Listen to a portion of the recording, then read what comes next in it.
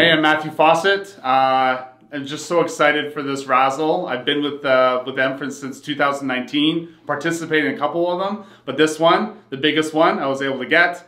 Cannot wait to celebrate the Maple Leaf season 2022-2023. Go Leafs, go!